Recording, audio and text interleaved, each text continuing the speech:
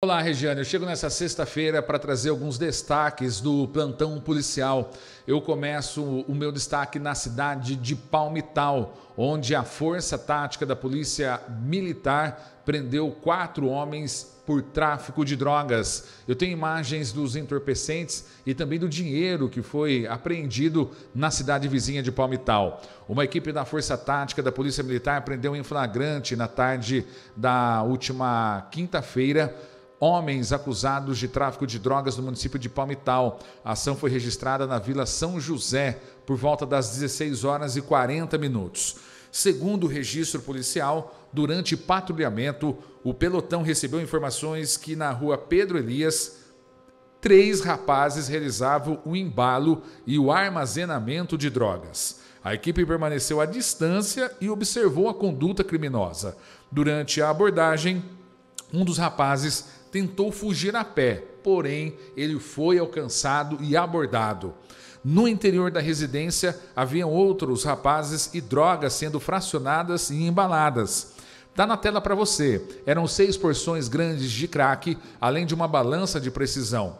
Também foram localizados 19 porções de maconha, três partes de tablete de maconha, três pedras grandes de crack, mais uma balança de precisão e 318 reais em dinheiro. Em outro local, também relacionado à ocorrência, outro rapaz foi abordado e foram localizados duas porções grandes de crack, 80 pinos de cocaína e duas balanças de precisão. Durante a ação foram presos quatro homens, um de 37 anos e três de 18 anos de idade além também de um menor de idade com 16 anos, que foi uma menor, é mulher, que foi ouvida e liberada posteriormente devido à sua idade.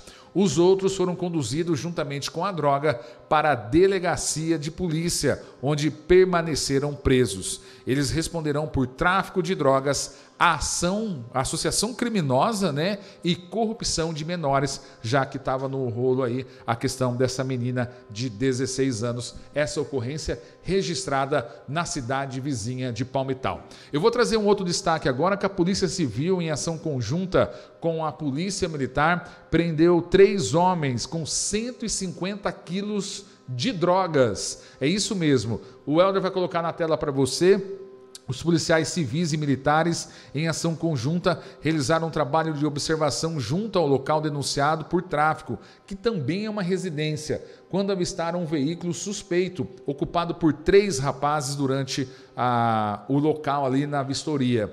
Os policiais realizaram a abordagem e dois deles tentaram empreender fuga, sendo contidos logo pela guarnição. No interior do veículo foram encontrados três sacos contendo diversos tijolos de maconha. Os sacos estavam condicionados no interior do porta-malas.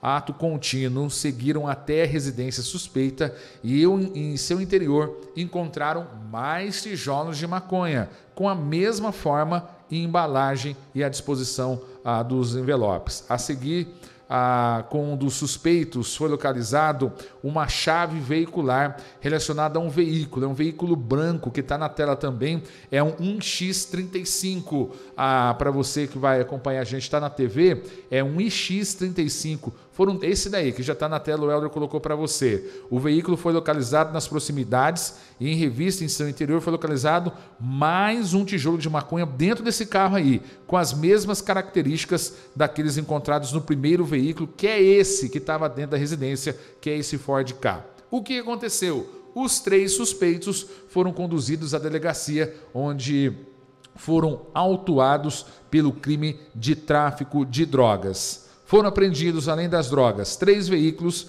além de objetos relacionados com o crime e diversos documentos tá, que estavam no interior ah, da residência. Os autuados são um de 24 anos, 28 anos e 31 anos. Após o término dos trabalhos, da questão da apuração desse caso, eles já estão à disposição da justiça. Mais um, né, um ato aí ah, de louvor para a polícia prendendo traficantes aqui na nossa região. Eu tenho uma outra informação ah, para você que está com a gente aqui na, na cidade de Assis. Uma dupla, deixa eu ver aqui, Gilberto, uma dupla ah, de motoristas é preso transportando 30 quilos de maconha, cocaína e crack. Isso mesmo. O Gilberto Vinícius e o Elner vão colocar na tela para gente aqui. Dois homens de 42 e 49 anos foram presos por tráfico de drogas após serem flagrados transportando 30 quilos de maconha uma porção de cocaína dentro de um ônibus interestadual aqui na rodovia Raposo Tavares, na SP 270. Segundo a Polícia Civil, a Delegacia de Investigações sobre Entorpecentes, que é a DIZE, tá, recebeu uma denúncia indicando que um ônibus estava saindo do Mato Grosso do Sul e faria a parada em Presidente Venceslau e entregaria um crack e cocaína para uma pessoa em Presidente Prudente. Ao receber essa denúncia, os policiais civis começaram a investigação e constataram indícios de veracidade na acusação. Por esse motivo, foi montada uma ação policial na rodovia Raposo Tavares. Depois de localizar o ônibus, avistaram a saída dos passageiros de nacionalidade boliviana. E ao se aproximarem do veículo denunciado, os agentes encontraram dois homens no interior, que identificaram-se como motoristas e responsáveis pelo transporte. Segundo o delegado Everson Contelli, foi localizada uma porção de pó branco com odor característico a cocaína no bolso da calça de um dos rapazes. No primeiro banco do lado esquerdo do ônibus foram encontrados cinco tabletes que aparentavam ser cocaína e três tabletes de substância características à droga crack. Os motoristas indicaram um falso, ah, onde ah, foram encontrados cerca de 30 pacotes de maconha tipo a conhecida da Amarelo Dub, com cerca de 30 quilos de entorpecente, também conhecido como gourmet. Pô, que legal, hein? O pessoal está falando droga agora com nomes variados. Ainda conforme o delegado, o quilo de cocaína e crack são comercializados a cerca de 25 mil reais. Uh, rapaz, ulalá, hein? 25 mil reais. Já a grama da maconha tipo gourmet, ela é vendida aproximadamente 100 reais. Desta forma, segundo o delegado, é possível apontar uma apreensão de 1,7 milhão de reais. Tá bom para você ou não? Essa droga está na sua tela aqui no jornal Rotativa Sonora e esses os destaques que nós trazemos para esta edição. Eu volto aos estúdios com você, Regiane Santos.